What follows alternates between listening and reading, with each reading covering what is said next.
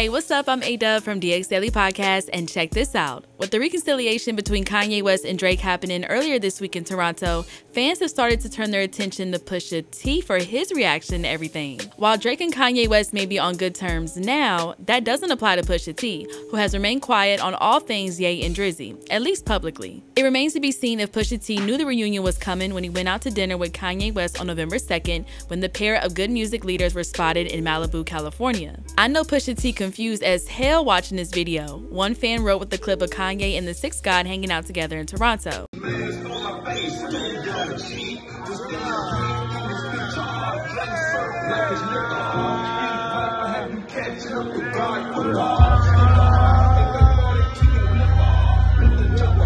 During a 2018 appearance on the Joe Budden podcast, Pusha T said his issues with Drake are separate from whatever would happen between Drizzy and Ye.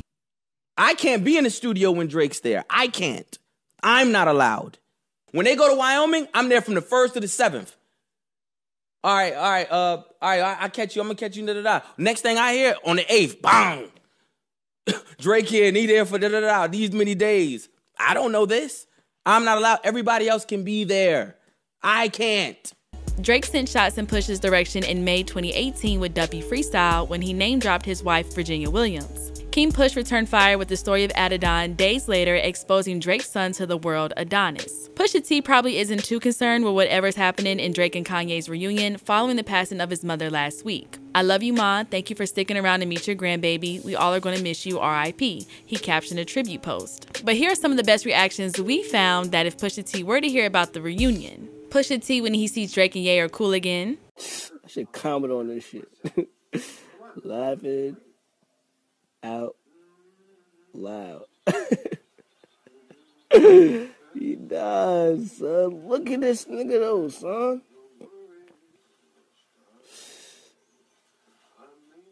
Pusha T seeing Kanye's story in the midst of an album release. Pusha T and Big Sean when they see Kanye West again. Let me tell you something. Get Pusha T when he sees a photo of Drake and Kanye together in a photo. This is fake. That's fake. It's a fake. Yeah, that's Photoshop. That's fake. On my mama, that's fake. On my heart, in my life, my little brother grave, I could die right now. That's fake. Pusha T looking at these vids and pics of Kanye and Drake all friendly together. It's, it's pretty difficult to put into words how disgusted I am, how depressed I am. Pusha T after he saw the Drake Kanye video. And I'm like, yeah, okay whatever. Fuck this bullshit.